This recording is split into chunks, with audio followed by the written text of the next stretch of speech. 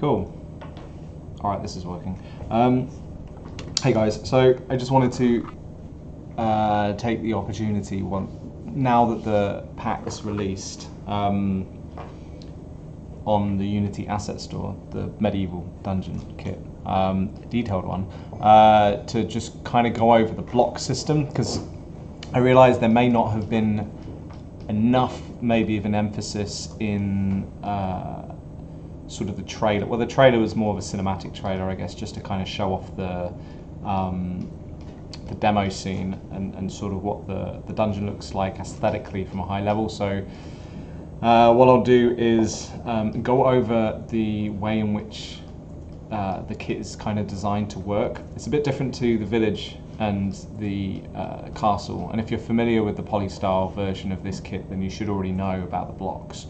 But essentially what it is, is it, it, before with the village and the castle, we had a modular a modular kit of prefabs um, that we then used to build to create buildings and maybe building layers. So like first ground floor, first floor, and then you know turrets, etc.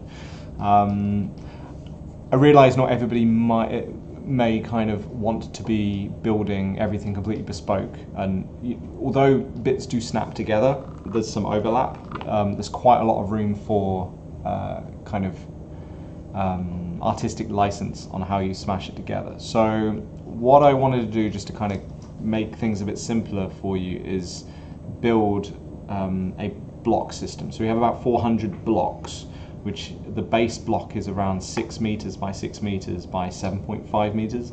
Uh, if you see this sort of UI, the blue sort of box UI here, that represents a block.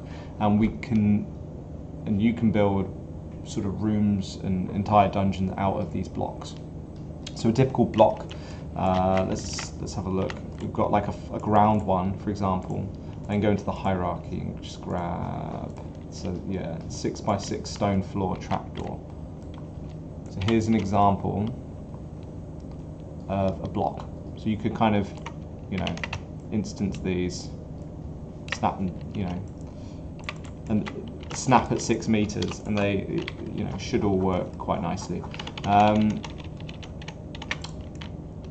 again, we've got sort of another staircase. Um, what I'm going to do after I've shown you this is is just build a room out of the blocks and just kind of show you the construction, uh, how simple the construction is. Um, and we'll, we'll, kind of go through everything you need to know with the pack. Uh, first things first, I think with the demo scene, there, there are some game objects that have some descriptions in the demo scene. However, it may not be immediately obvious what they are, why they're there, and what they do. So um, the dungeon scene is quite big. It's composed of you know, a lot of assets, a lot of static meshes. Um, but the rooms themselves, uh, there's a lot of rooms. So there, there's a lot of things being occluded behind walls and stairs and roofs and things. So one of the one of the game objects says bake occlusion culling. So what occlusion culling is is so it's this little menu right here. Uh, you've got if you go to window rendering occlusion culling, you'll get this. So all it does is you've got a flag, and I've already flagged all these objects for you. So you, you flag in on a lay, not in a layer. In if I grab this, it would be inspector static, where you got static here.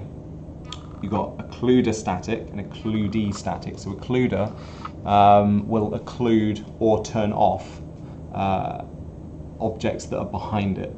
So if you've got a wall and you've got a prop behind that wall and the cameras can't see the, the, the prop, and that prop won't get rendered. Whereas if you don't have occlusion culling on, then that prop will get rendered, and that will you'll incur a cost, performance cost on that. So, occludee is the thing that gets turned off. So it works in kind of a voxel. Well, it's not really voxel. It just kind of it builds it up in a voxel-like way to just create data, occlusion culling data that tells uh, the system when to turn things on and off. And so if you don't have that built, it won't work. And you might get about 30 to 50 FPS, 30 to 60, maybe 20 to 60 FPS with occlusion culling turned off. But if you have occlusion culling turned on or baked in the main scene, then you're going to be running at about sort of 50 to 120 uh, FPS. It's, it's, it's odd definitely sun and moon. So um, you go, yeah, you go to bake, and then it should already be set up, and then you just hit bake, and then it should just work. I'll do I'll do that here, and we can just kind of take a look. Um, I'll just change this and then hit bake. So we should see it building up. Maybe we're not going to. Okay, let me do it on the main scene.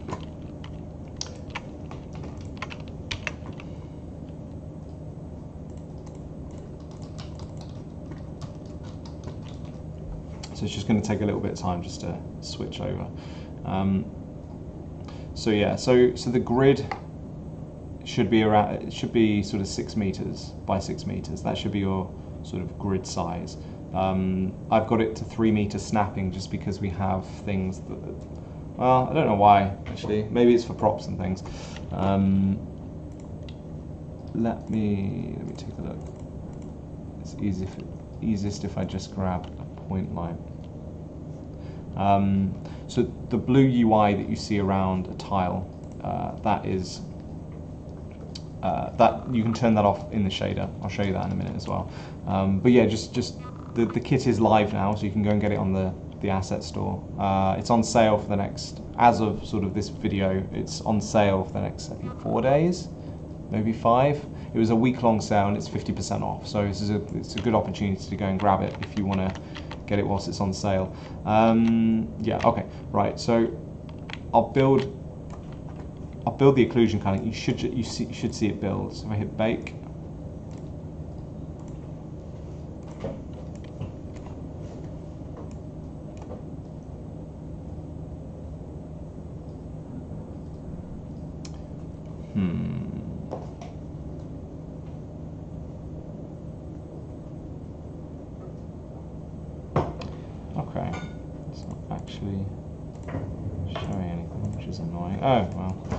It's because it's already done.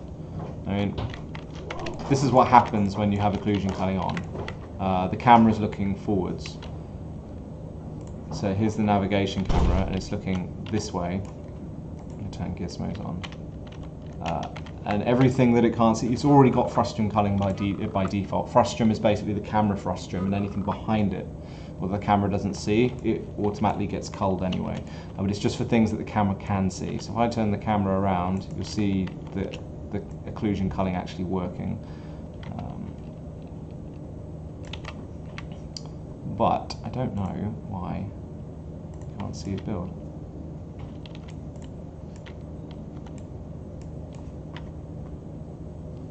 Okay, well, normally what happens is you see, just like with these blue UI boxes, you, you see a bunch of boxes build up as it makes its way across the environment. Um, it's probably because it's already been built that it doesn't need to do it again. Um, and I haven't changed any settings. So, so that so that works. So that's why you need to bake that. Um, so turn blocks, uh, turn blocks UI on off. So adjust the shader blocks underscore UI. So you can search for that just in the search bar here.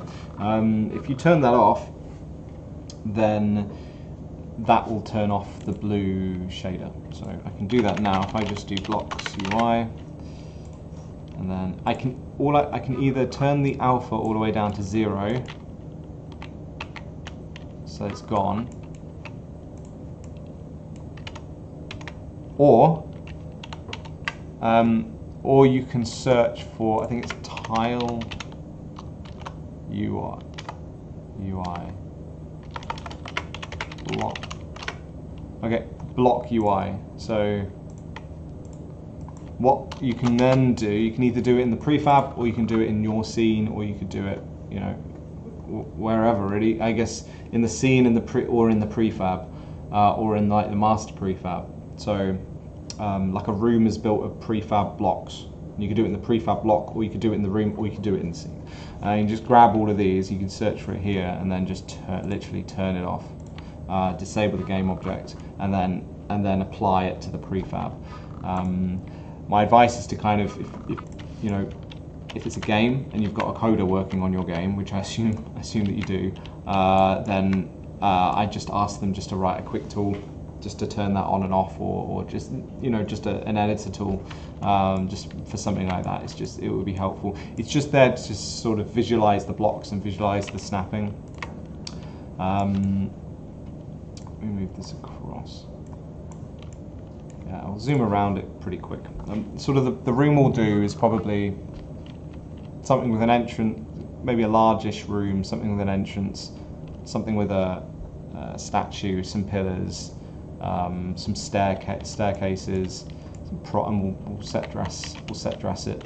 Um, yeah, we, we've got, as I said in the, one of the other videos, we've got quite a lot of props in this kit um, compared to the others. We've, we've spent some time doing that. As you can see, the performance is pretty, pretty good. Is the occlusion culling working? If I do this, can't see anything now.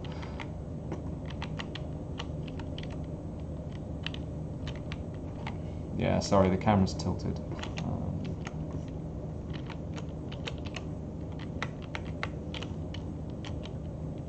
anywho, right, let's go back to the other scene.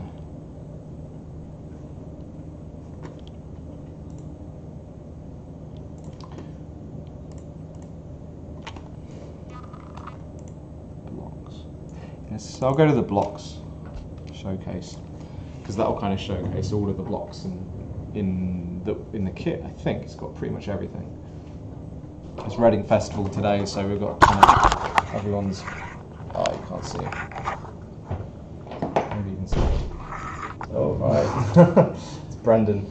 Yeah, everybody's trains are emptying out, and everybody's going over there to. It's the massive music festival, one of the biggest in the UK. Um. Okay, right. Okay, right. So here's uh, I'm looking at these backwards. Here are a lot of blocks. So steps, for example. Let me turn the UI back on. Uh, don't crash.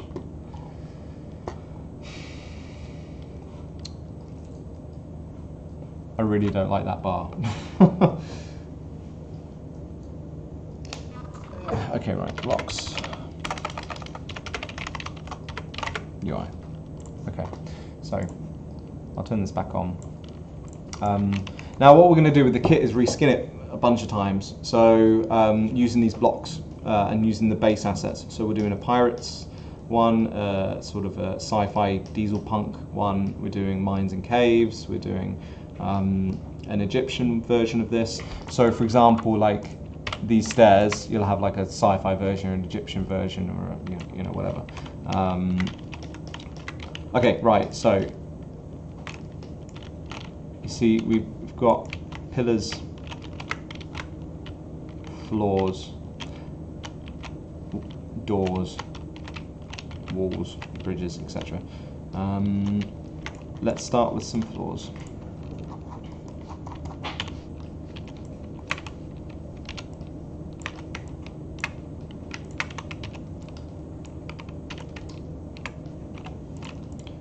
Sure these are facing actually rather than be tilted. There we go. So it's really easy just to kind of start building stuff up. Maybe we'll have a, a trapdoor. Actually, we'll have this and then maybe a trapdoor.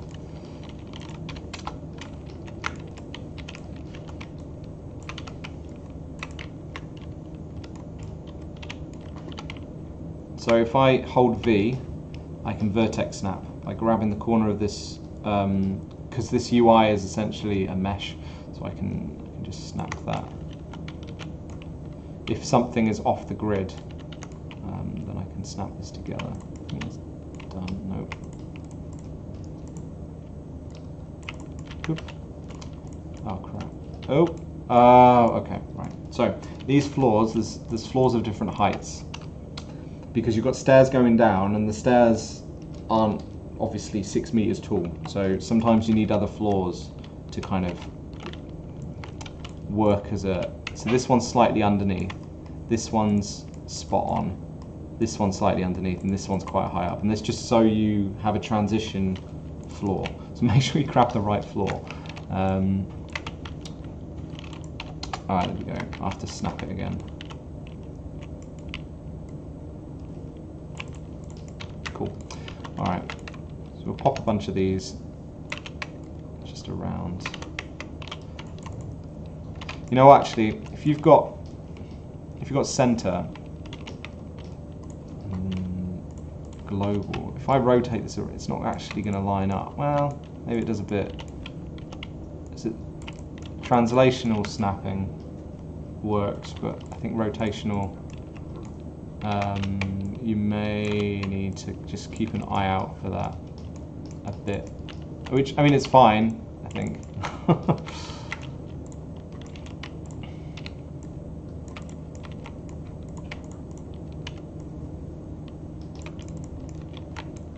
Okay. Now, should we do a bridge? Grab some of the bridge pieces.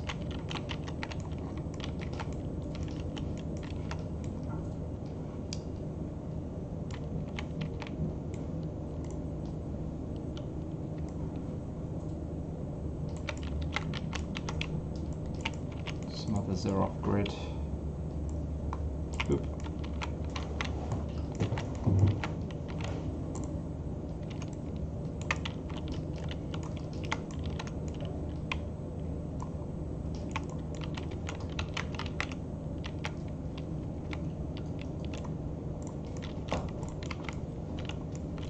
You know what, or I could just grab this one.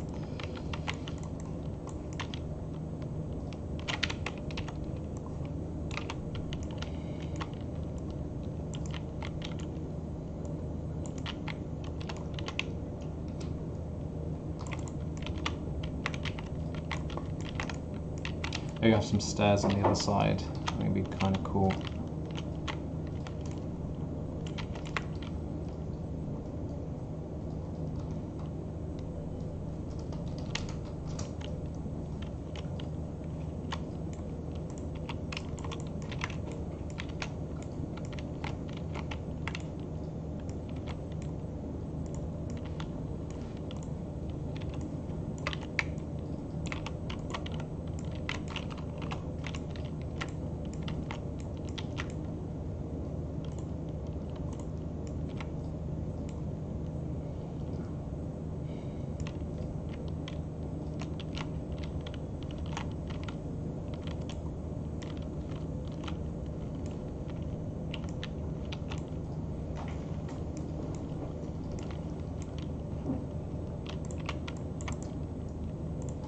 Yeah, we'll use these.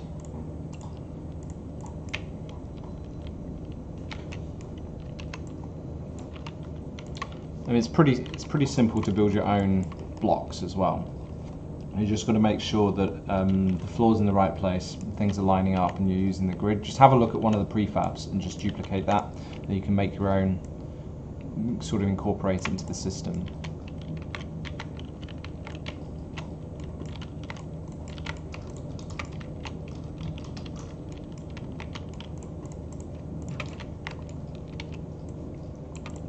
So I'm just,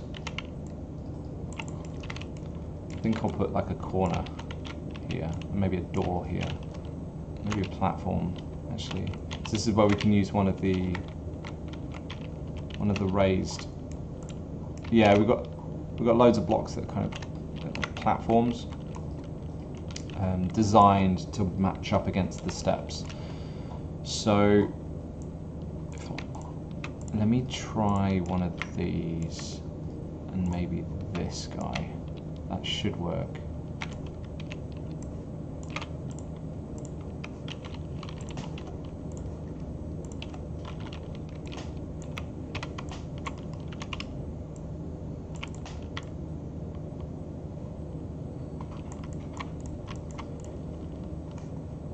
Sometimes it's fine. I mean, I think it's fine to do things like this occasionally if you just want it to ma- match up exactly um, for, for the sort of thing that you want to do.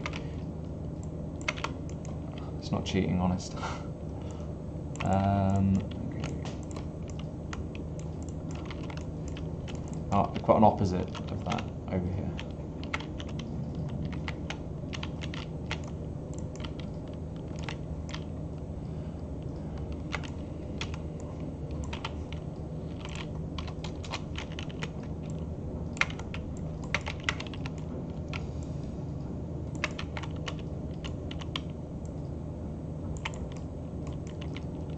What?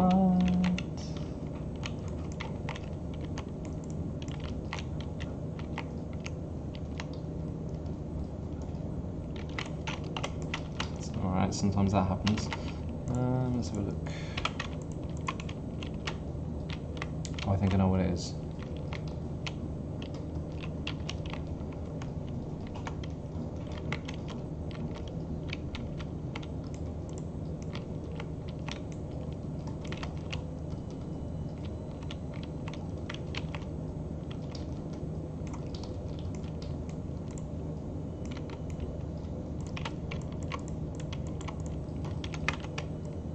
Yeah, I can just do that. That's why. To cater for different types of steps and floor heights and stuff. So find the one you want, basically.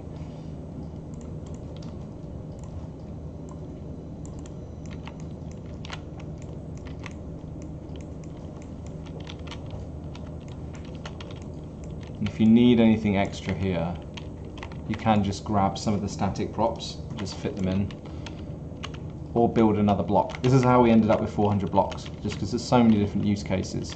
Um,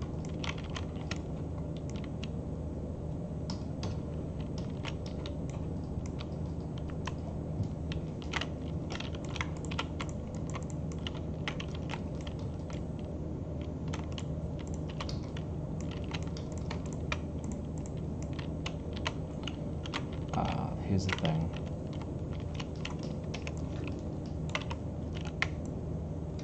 Yeah, that would. It's kind of fun sometimes as well, just figure out figuring out what's gonna work. Oh, these are not aligned properly. Oop. You may have a tool that does this. You may want to write a tool that does this. Um, I'm not entirely sure what you would use. Maybe you would need to stick an anchor point or something on the corners uh, and then spawn and use those, maybe? I'm not sure. But doing it manually is just fine as well.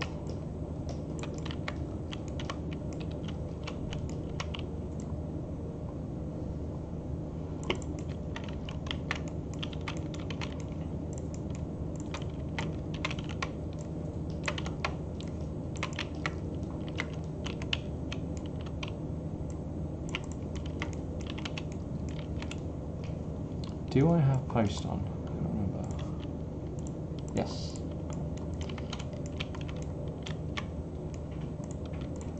Ah, let's make it symmetrical. I do like asymmetry, but for the sake of simplicity, we'll go asymmetrical now. Uh, that won't work, will it? Let's move these. If you walk down these steps, you're going to walk straight into the tomb, which you don't want.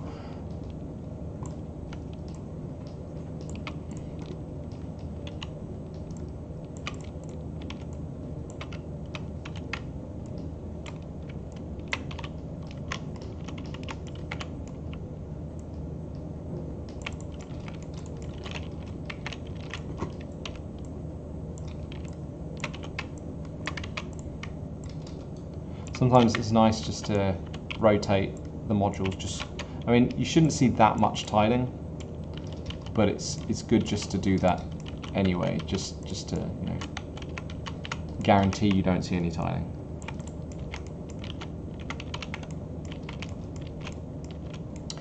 Right, what we're going to use against these walls? Let's have a look. Maybe we can use these. Actually, let's use one of these statues in the middle.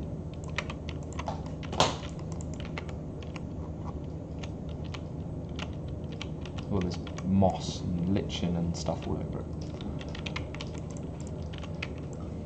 Didn't really know what sort of foliage to put in a dungeon. I was thinking about putting mushrooms and ferns maybe and stuff, but we'll probably leave that for more of a maybe another kit, I think. And also we've got we've got all the ivy and lichen and ferns and things in not lichen, sorry, in the other kits as well. There's, and I think we've got it in the free wells and props kit as well, so you can grab that. Um, but yeah, mushrooms and things like that um, probably have in the mines and uh, the crystal mines and caves kit. We're going to have a ton of props in the market markets kit coming up. Not sure, not entirely sure about foliage, um, but I reckon some will make its way into the into the Pirates Cove version of this because we'll have like giant stalactite um, like pillars. So this small pillar here will actually be um, yeah, it would be this one. Will be like like uh, calcifi- calcification basically, like giant, massive pillars of calcified rock.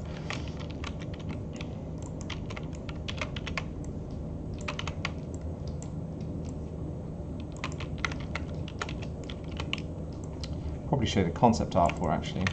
Need to find it. Um,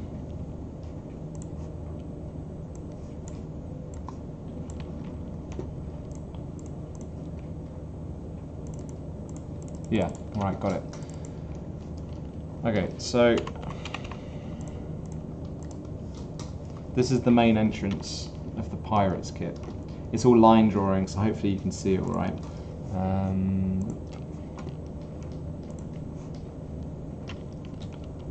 yeah, so so you, you can see sort of here you've got like the calcification of the pillars.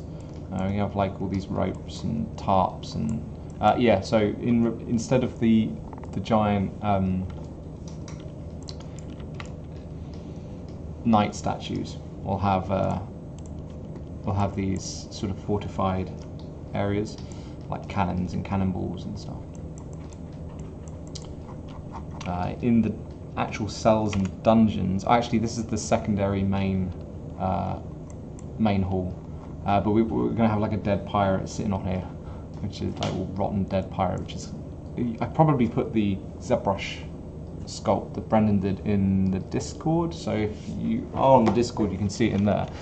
Um, you know, like fishes and yeah, the, here's where the trapdoor is, for example. Um, and then yeah, this is where the cells are. So we're going to convert the cells into ja- jail cells. It would be more like crew quarters, like a mess hall and things. Um, so, so that's kind of the idea is we'll, we'll like we'll take the kit and we'll reskin it up like in, in these different ways. So you'll be able to kind of there'll be crossovers between the kits. So with the pirate kit, you might be able to grab a lot of that and use it in in the dungeon if you really wanted to in this particular dungeon, and vice versa.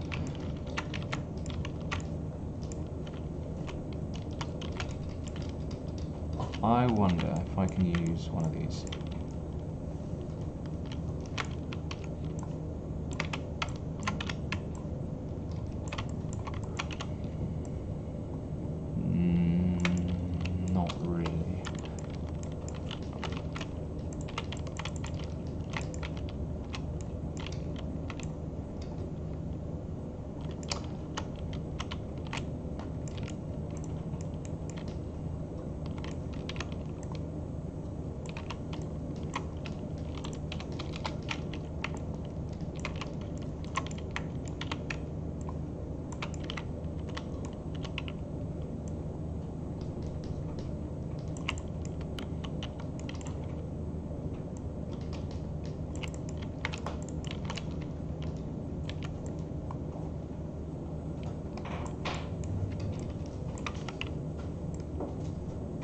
You know what, you probably want to change your snap settings to 0.5 just because uh, vertically these are 7.5 tall.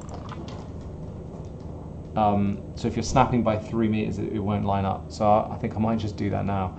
Um, right, it's set to 3 right now, so 0.5, 0.5. In fact, that's why I had it on before and then I wondered why I had done that. This is why. There there you go, so you can do that.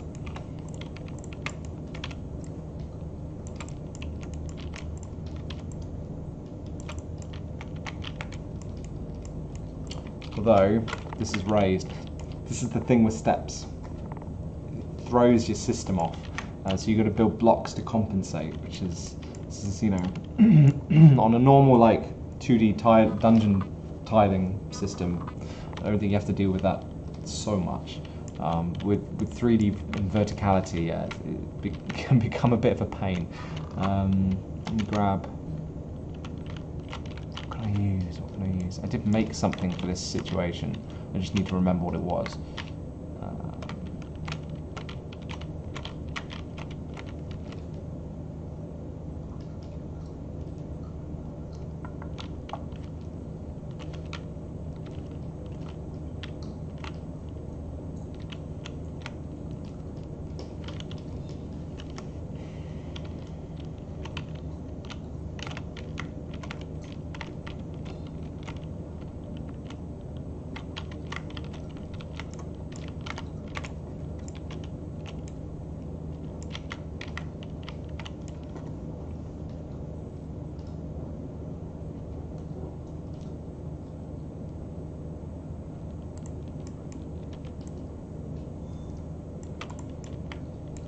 tell you what we'll do. Yeah, I know. We can some of these arches.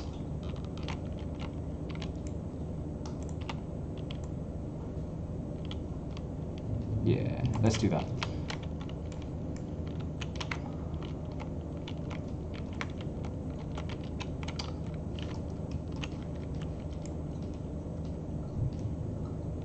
Yeah.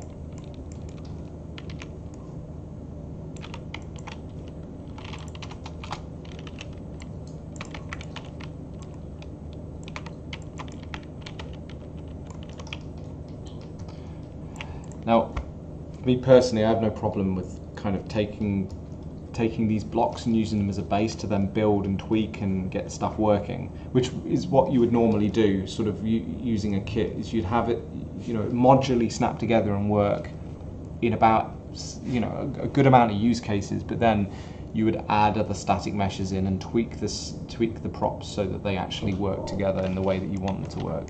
I've got no problem doing that, but um, I, I do appreciate if um, some of you would rather it just, you know, all the blocks work with every single use case. It's just it's it, it's it's going to be it's going to be difficult to be able to provide that because we'll end up with like thousands and thousands of blocks.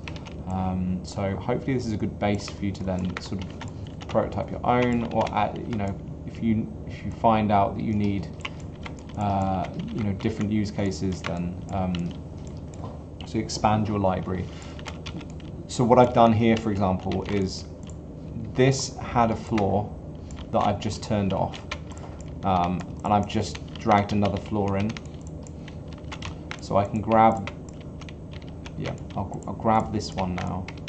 Now, what you could do is you could duplicate that prefab with the floor turned off, and you could just make a new prefab, and there we go. You've got a brand new block for your use case that you can just use. Um, ideally, though, I think what you would do is you would open or unpack the prefab, delete the floor, and then say, and then create a new prefab from that. And again, that's what I would do. As I would go through and build up environments and rooms, I would find these use cases, and this is how we ended up with all the blocks. So, so this kind of works, I think. Let me just turn down the UI. Yeah, it works quite well. Um,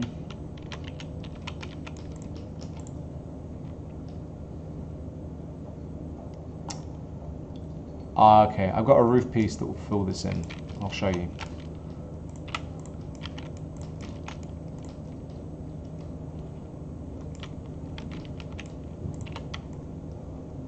It's probably this one.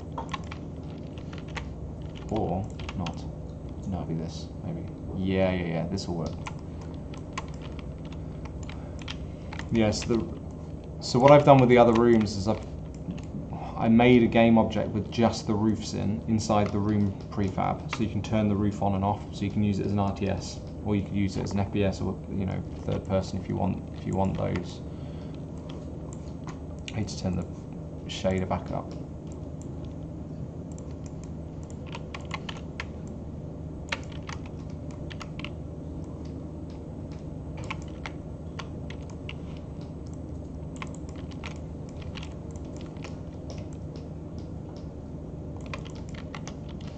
See it fills that in, fills that little gap in.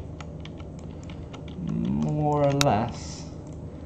I mean, ideally this would be, you would have like a, a, a black sky, so you wouldn't see this or it would just be completely black, which I think is fine. Uh, if you really wanted to, you could go into this and just extrude it a little bit or extend it. Um, so long as you don't apply it to the prefab, it's all good. You can just make a room prefab and those changes will be in the room prefab instead of those. So I can I can take this across now like this.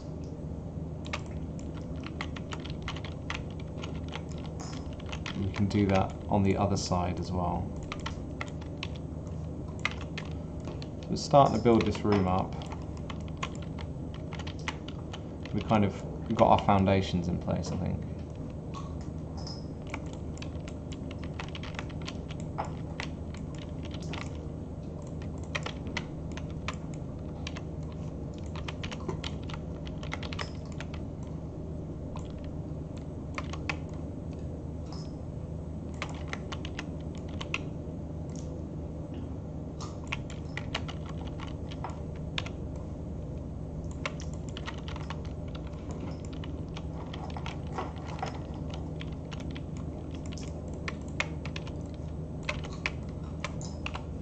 Okay, so what we want here is a wall with a floor, and you'll find those over here, these guys. So might, might grab one of these, make it interesting.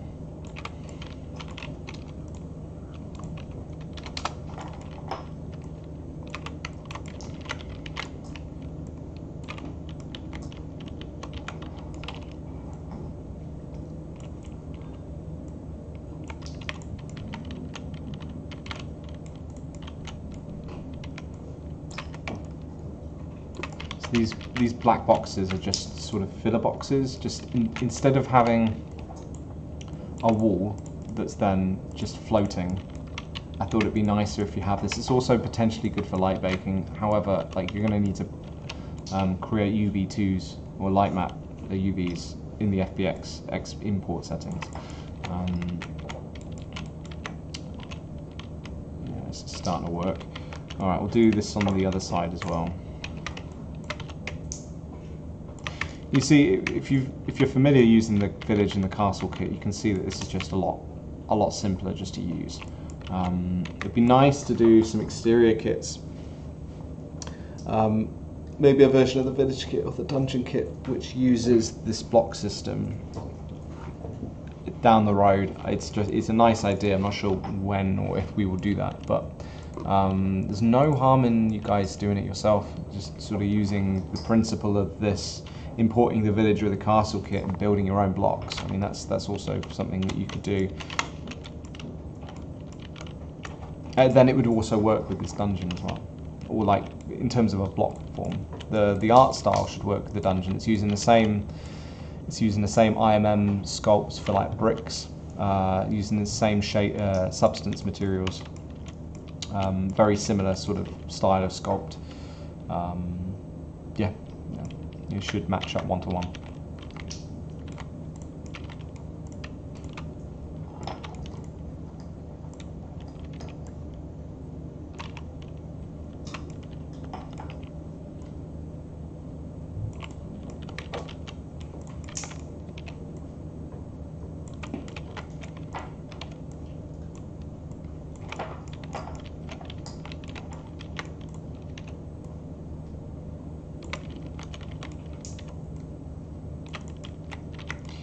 If any of you had been sort of following from maybe 20 during 2020, uh, we did something called Blueprint Wednesdays. So I wanted to try and do a building every Wednesday and live stream it. Um, and I think this is probably where the idea for this came about, just because I found out that it just it was quite a creative process using the kit in a sort of a, in a modular and a bespoke way that um, you ended when you end up trying to use steps and do some sort of you know oddly vert, you know vertical building something interesting um, it, it takes uh, quite a bit of iteration which is fine. I mean it's normal. It's, it's, sort of normal environment art sort of iteration. However I was thinking well I want to get this done in like half a day or a few hours. So, and I'm pretty sure so do you guys. So it might be easier just to kind of have a snapping system, like a modular system that is more like Minecraft, as in you know, block, block, block, block, block. Um, that's how this kind of was born. Let me go and get another wall piece. Might actually grab a door.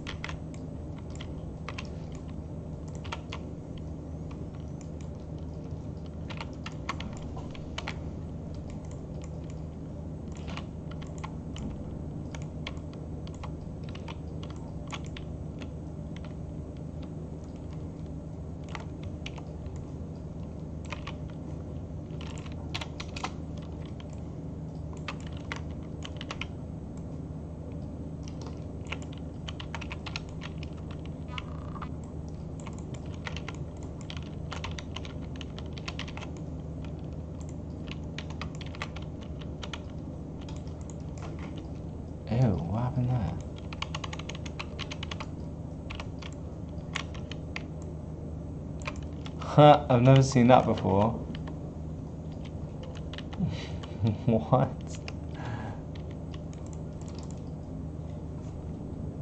What? What just happened? Unity.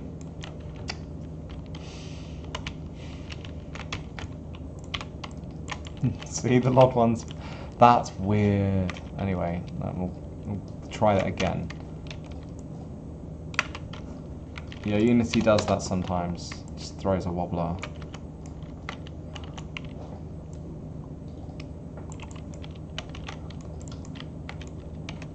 Right, I'm gonna screw your shading up. No reason whatsoever. Because I'm Unity and I like to crash.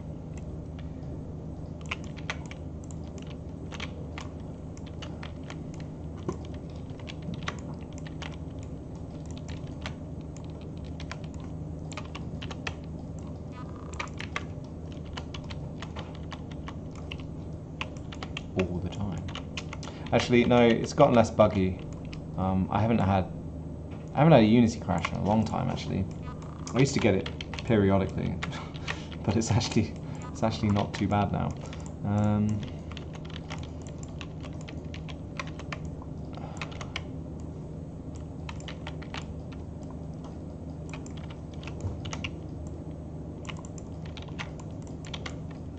oh no, put you forward.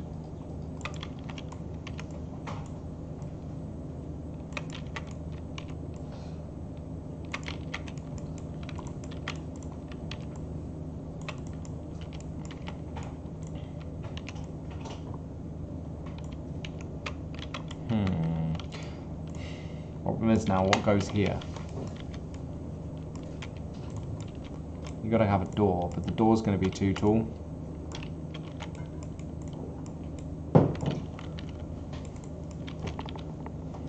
We'll, we'll figure that out in a bit. Um, no, I'll grab a corner. I'll show you the corners. I think.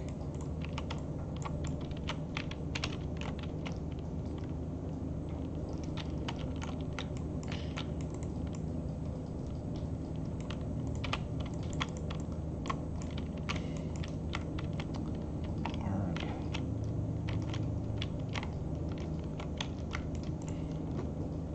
It's probably because I haven't got all the prefabs out.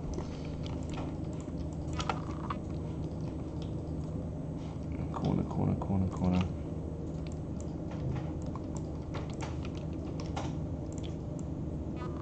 No. I know what I did. Alright, watch this. Boop. Boop. Corner.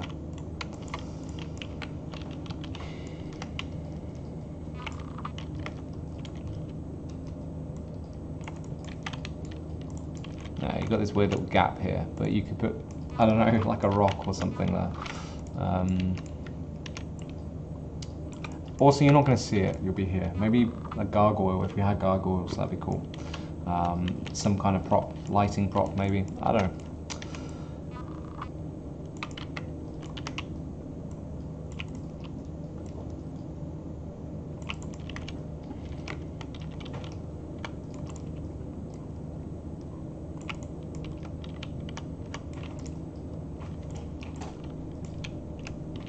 Mm, yeah.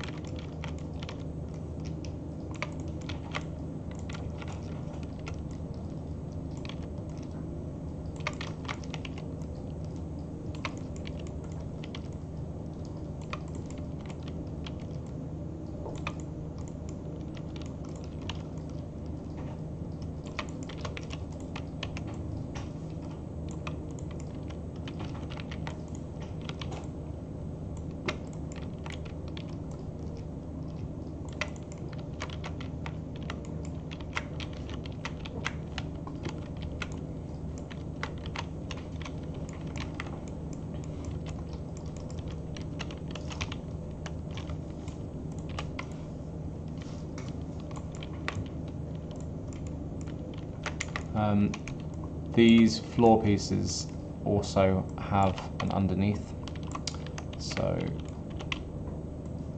you can do stuff like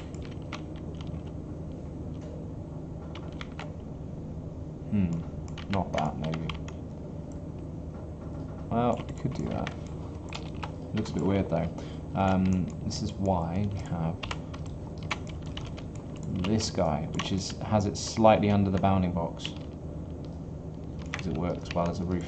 Now, ideally, I would have made a half of this, so that like the other half or the other side was capped, but I haven't. So I don't know. Kit bash it if you need it. It shouldn't be too hard to do. You just like take it in a Max or Blender or whatever and just slice it and then save it as a new FBX. Maybe I should do it in hindsight.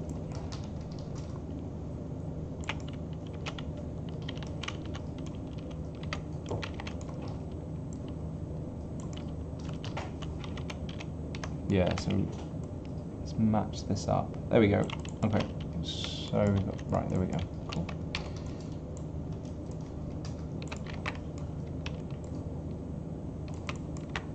I mean, the thing is though, you're not going to be looking up a lot of the time. You're going to be looking down. Well, alright, if it's an FPS, maybe. There's not a lot of them. Um, they're relatively low poly. I think. Background. Um, so about half that. If, you know, I reckon I've got a mesh in here that is one of like half of these. Let me have a look.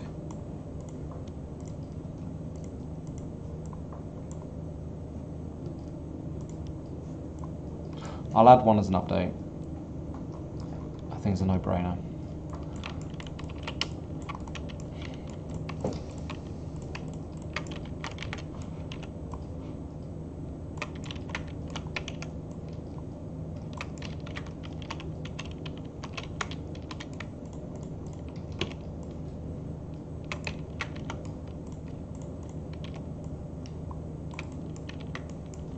Okay, so now all we have left really on that bit.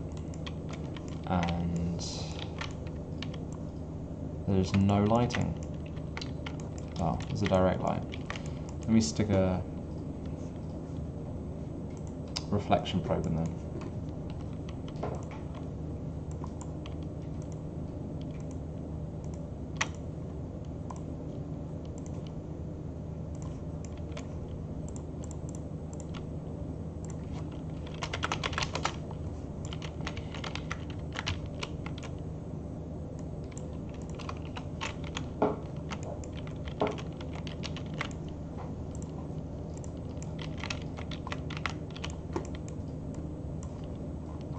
maybe a light.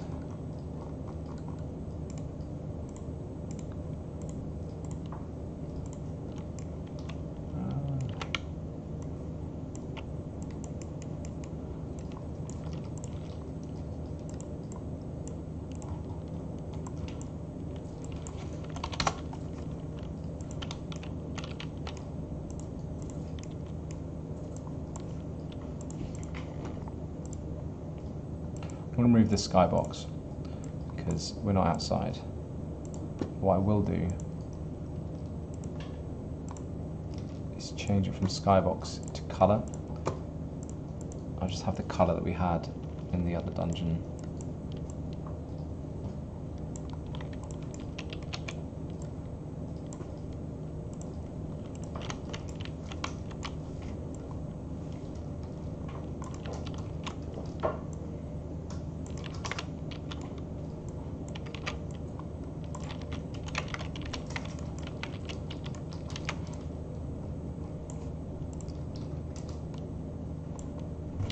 I've just hue shifted it. So um, I guess it's cooler outside, and then as as you come inside, I've just shifted it up a bit just to get color gradient. Don't know why actually. Um, normally when colors get, when light gets darker or warmer or cooler, you do a hue shift instead of a light, like in, instead of the intensity value. So what I could have done is brought this same one in and then just reduced the intensity. But instead I brought the same one in, kept the same intensity and just done a hue shift. It kind of does the same but keeps the illumination up. Sort of.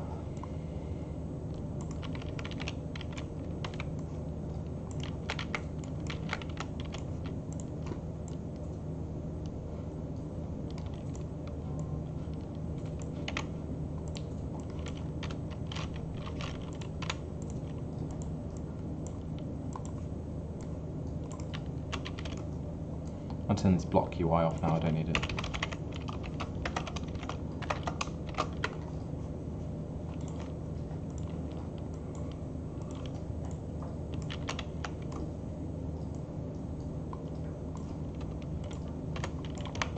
So I'll, I'll put point light behind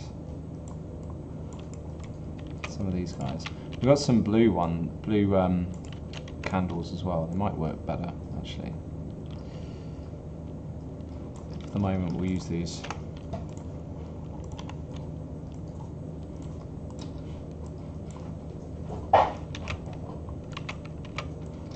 I tend to go warmer the smaller at the light source I think. Um, and then when it gets quite big like a standing ca candelabra, if the if the um, if it's still an orange light, then I'll just make it sort of slightly less saturated, a bit more yellow. Um, and then the smaller ones, I guess, because you know, if, if you get a really ready a red flame, then that's going to be cooler than a blue flame or like a white flame. So that's that's kind of the technique I use. It's not really a technique. It's like just some principles.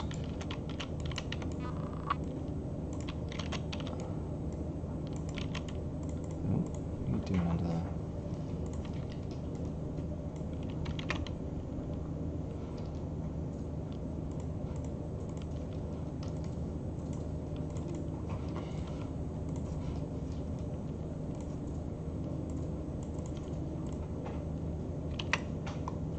Um, the reason I can use quite a few of these point lights here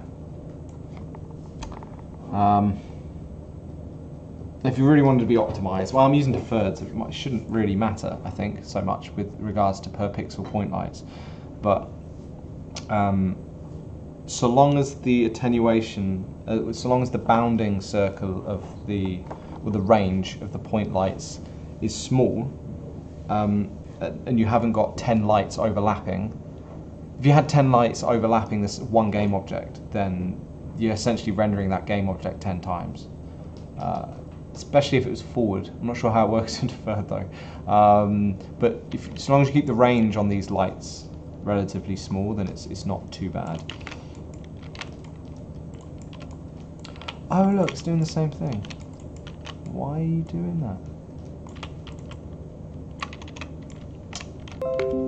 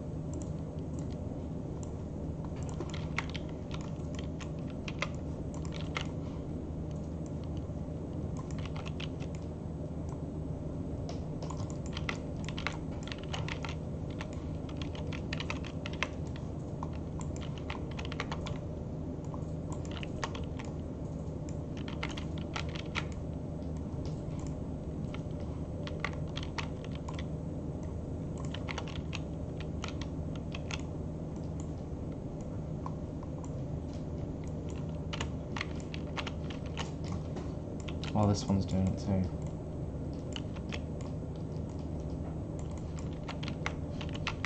Uh, you know what it is? The light map.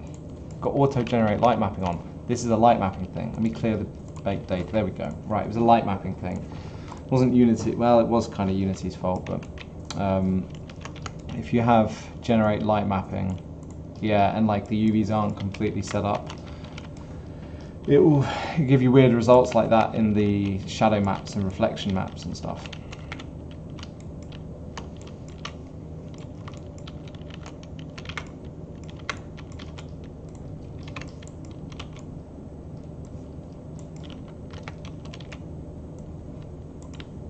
So with these point lights, what I'm doing is just adding them in to fill the space and kind of sculpting it the same way you would consider bounce light GI, so you don't necessarily always need to use GI.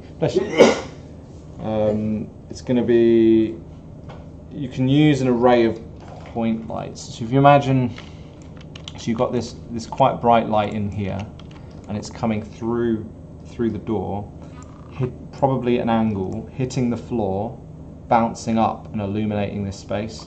So you've you, you have this is lost energy so it's going to be, I guess, warmer. So I'd bring it from the, the blue down through the greens um, where it feels warmer because it's, well, no, okay. this is actually, uh, pennies dropped. The, people think blue is cooler when in it, and it is, but really blue is hotter. What's with, what's with that? Um, anyway, yeah.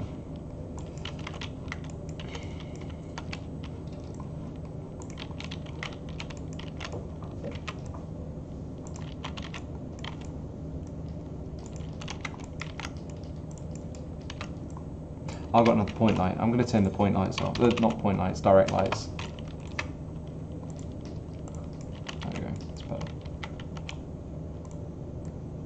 So up here, I haven't got any, I haven't got anything yet.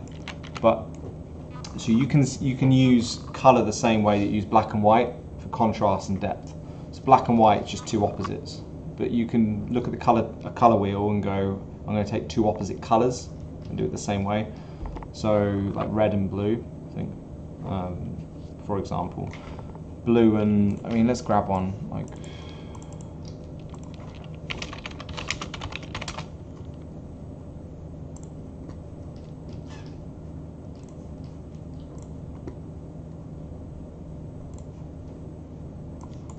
Okay, right, so here's color wheel.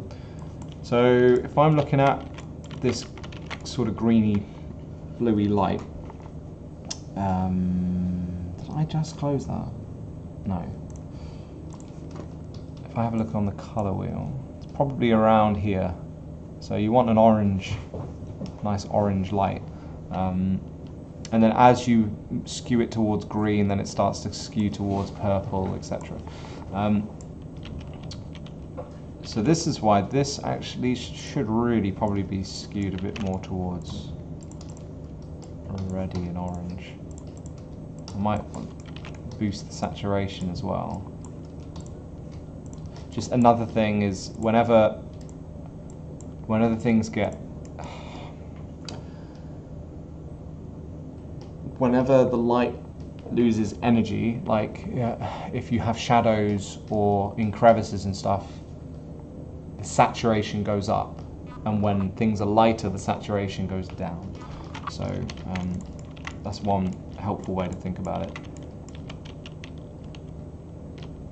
So I might make this one up here. There we go. You see? So you get that kind of two-tone effect for the contrast uh, to, to create a contrast and create sort of a depth. So if you've got a 3D object and you've got like a red and a blue, or an orange and a green, um, it's like it's like having shadow and a single point light, but a bit nicer. You get a bit more information.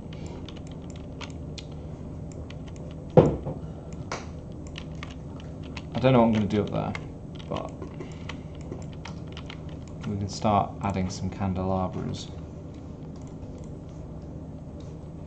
Materials,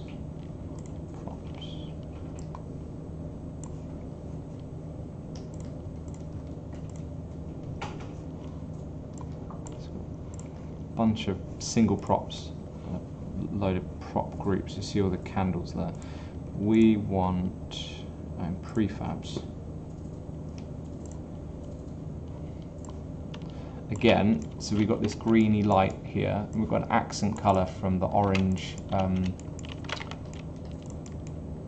the orange candle.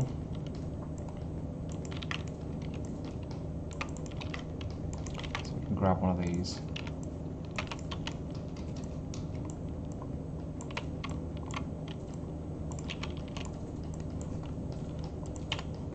Expand it a bit, cool it down because it's a lot, sort of a hotter light maybe. Mm, yeah.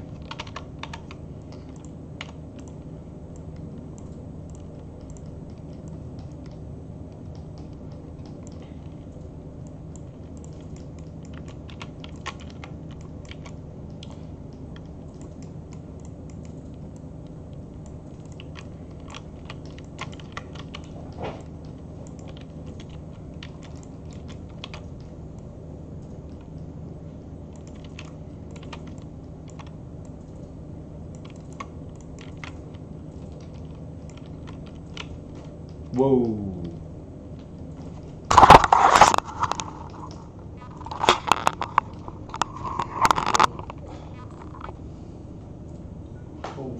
Don't know if you can see that. Hold on. Oh, sorry, I've only just seen the chat. sorry, guys. One sec. Um. Video. Yeah. No, uh, it doesn't really look that much on here. Anyway.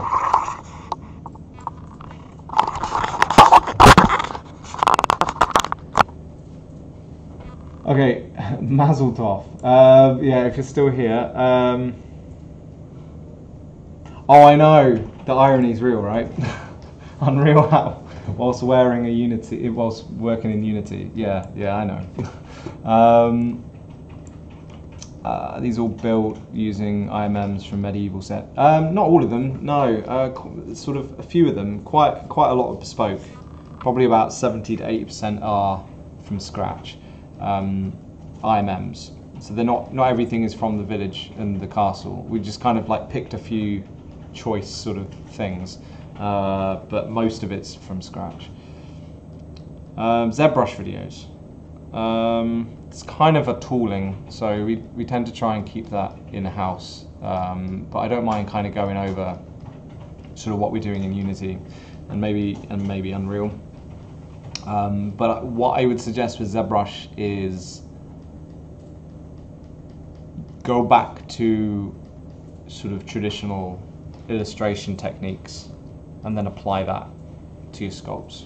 I think, you know, in terms of silhouette, surface, detail, how much, there's a ratios of scale, thickness, etc. Um, in terms of in terms of like tech, like technical, ZBrush technical stuff, I, there's there's plenty of tutorials that do it a lot better than what what I I could do on here.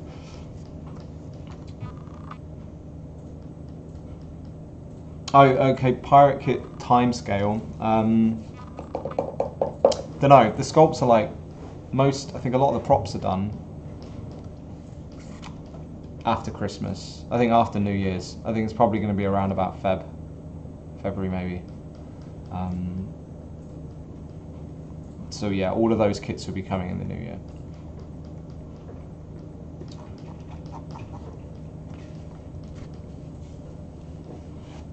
Cheers, guys. Right. Um,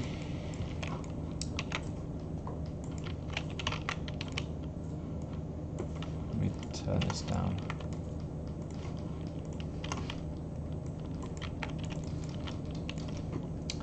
We can grab one of these. One of these.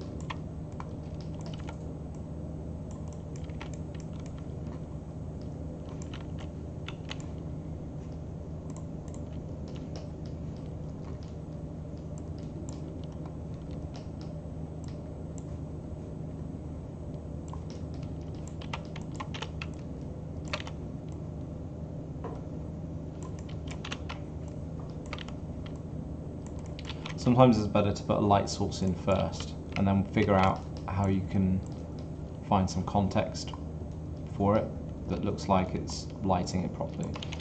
Um, so like here, I want to light this up.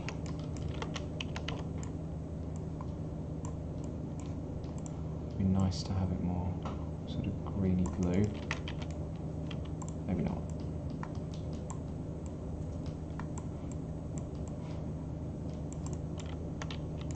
That's fine.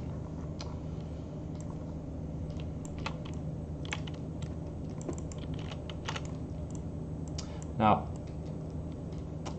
there's an argument for putting the point lights in the prefab, the lights prefab. But the thing is, sometimes you want to have them in different places. Sometimes you don't want them at all. Um, so I haven't done that.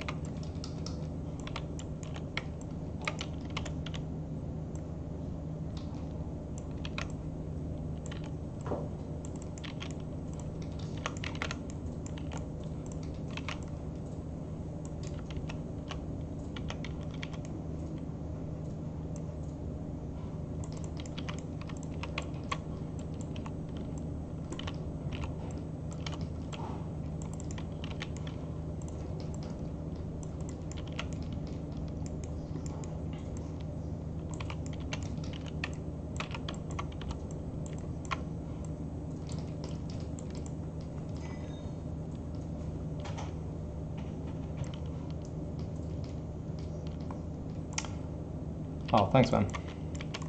Yeah, the blocks the blocks help a lot. I think they, they definitely speed up sort of getting laying stuff down, like blocking out a uh, pardon the pun, blocking out the um, sort of the overall structure of some of a space that you want.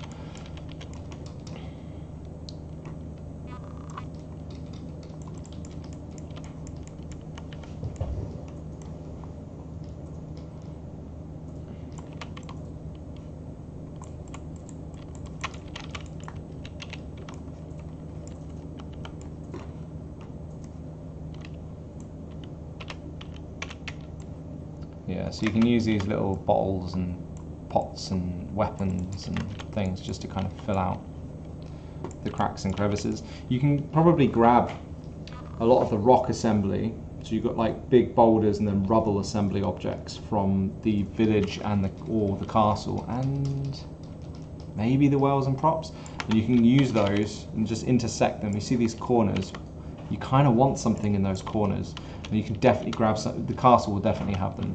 Um, yeah, that would work quite well.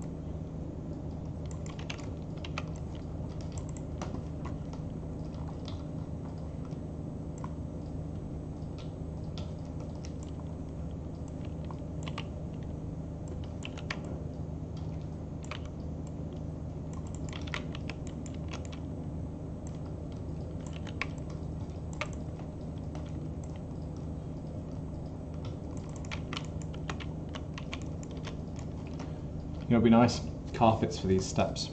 You using vertex snapping? Yeah, sometimes. Um, yeah, so I'll, I'll, I'll, turn on the blocks UI again. Um, I don't use vertex snapping for the props. They, because there's collision on the ground, um, there's the, sort of all the all the green bounding boxes you see. That's all collision meshes. So that's were, it was built using uh, bot box collide, well, no, box prims which already have box colliders on, and then you remove the meshes. Um, so when you drag a prop in, it will automatically snap it to the collider. Uh, if I do need, the thing I use vertex snapping for is just, yeah, the blocks. So, um, so like this block, for example, if it was slightly off the grid, if it came in slightly off the grid, then I would make sure it's orientated correctly and then vertex snap it in place um, just with like like that. And then and then that works. Um, this UI helps because uh, it also because it's a mesh it gives you it gives you something to vertex snap which is which is good.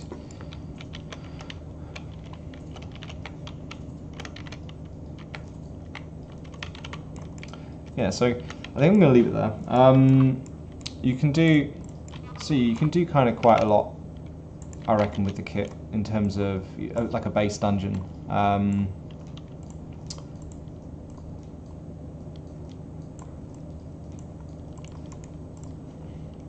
oh, okay, that's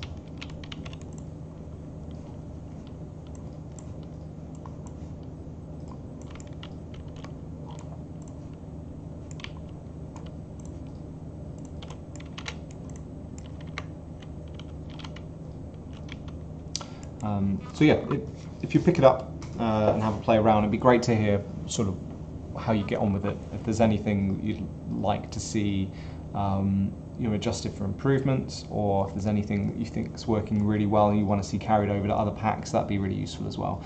Um, so we've got a Discord channel. Uh, if you go to the description on the store page, there should be a link to sort of Twitter, YouTube, Discord. There should be a Discord invite link in the Discord uh, button link thing. Um, then you can sort of the, there's quite a lot of people in there. I think as of now there's maybe uh, there's 175 online. Uh, I don't know, a bunch, maybe a thousand or so, um, sort of there offline at the moment. Um, we're, we're there if you need to chat. If there's anything urgent that you kind of want to help with, then feel free to kind of get in touch. Um, we use Discord for our develop, internal development um, chat as well. So we've got a separate chat, the Astrofish chat for that. Um, we, we do kind of post sort of updates of where the kits are at when we release new kits, announcements and things like this. Um, so yeah, no, thanks very much for watching. And I mean, if you if you wanna if you have any questions before you pick up the kit, then do let me know. Um, I'll be happy to kind of have a chat about it. Uh, the if you want additional assets to work with this, the the detailed medieval village, castle, wells and props, and there's a demo one. I think the demo one is included though in in the uh, in the village now. Um, they're all available on the assets Unity Asset Store as well. Uh, we have got the villi- the uh, the medieval village on Unreal Engine. Uh, I, the castle's done. I just need to fix the lighting and really push it through Unreal's um, QA process, which is pretty grueling. Um, so I'll I'll do I'll see if I can get that done. I just need to get my head down. But yeah, cheers, guys. Uh, as always, sort of you know like and subscribe and all that. So cheers. See you in a bit. Bye.